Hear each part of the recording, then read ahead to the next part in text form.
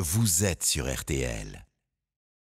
Après les révélations de la patineuse Sarah Abitbol cette semaine, la ministre des Sports ne compte pas s'arrêter là. hein. Roxana Maracineanu a convoqué lundi le président de la Fédération des sports de glace. Était-il au courant des agissements de Gilles Beyer, l'entraîneur de l'ancienne championne accusée de viol? Et si oui, comment a-t-il pu poursuivre sa carrière?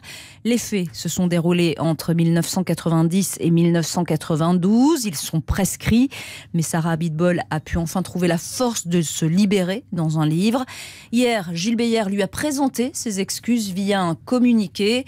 C'est loin, très loin d'être suffisant, Jean-Michel Rascol, et cela pourrait encore faire grand bruit dans les jours qui viennent. Sarah Abitbol n'entend pas les excuses de l'entraîneur qui a brisé son adolescence. L'expression relations inappropriées employée par Gilles Beyer, cette phrase tachée de mépris où il affirme avoir des souvenirs différents, n'apaise pas une femme blessée hantée par le viol depuis 30 ans.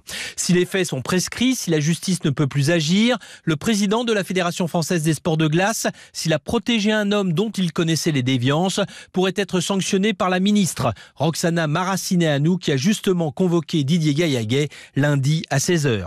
Un spécialiste peut-être pas si mal intentionné rappelait dans les couloirs du comité olympique hier le classement du podium masculin des championnats de France de patinage en 1974. Médaille de bronze, Gilles Beyer, médaille d'argent, Pascal Delorme, condamné depuis à 10 ans de prison pour viol sur mineur qui l'entraînait. Médaille d'or, Didier Gaillaguet, le gardien d'une institution aujourd'hui menacée. Jean-Michel Rascol du service des sports de RTL.